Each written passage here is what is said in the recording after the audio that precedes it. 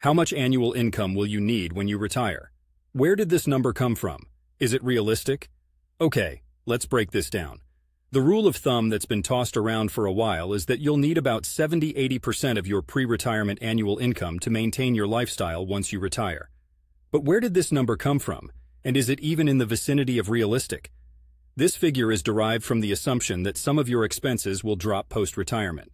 Think lower taxes, no more kid-related costs, and no more siphoning money into your retirement savings, because hey, you're already there. But, and this is a big but, this doesn't take into consideration a host of other variables that can turn this nice round number into something as unpredictable as the Portland weather. Let's talk about healthcare, something we all need a bit more of as we age. Costs in healthcare generally tend to increase during retirement, and if you're planning on jet setting around the world or taking up new hobbies, add those expenses to the mix as well. Then there's inflation. The cup of coffee I grab from the local Portland cafe on my morning walk isn't going to cost the same in a couple of decades. So if we're basing our income needs on today's dollars, we're in for a surprise when we find out how much that cup of joe will set us back in retirement. Now let's add another layer, lifespan. We're kicking it longer these days, and our retirement savings need to keep up. It's not just about whether that 70-80% will suffice for a few years. It's about it sustaining potentially 20, 30 years of not working. So this old adage, this retirement savings barometer, can indeed be a starting point, but it's key that each person customizes this number to their own plans, health, lifestyle, and the ever so uncertain future.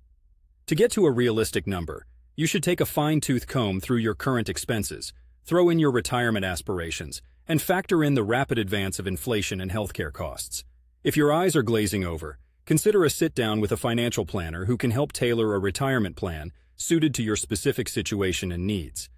Consider me, a guy who enjoys the serene mornings in Portland and is a few decades out from retirement, still figuring out the right balance between saving enough to watch the sunsets peacefully and living a life that's robust in the now.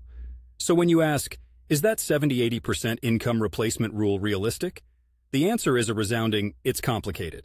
Like anything worth doing, crafting a retirement income plan takes a personalized, thoughtful approach. It's less about adhering to a one-size-fits-all number and more about shaping a strategy that aligns with your vision of a comfortable retirement. Whether that's sipping coffee in the Pacific Northwest or something else entirely, well, that's your call to make.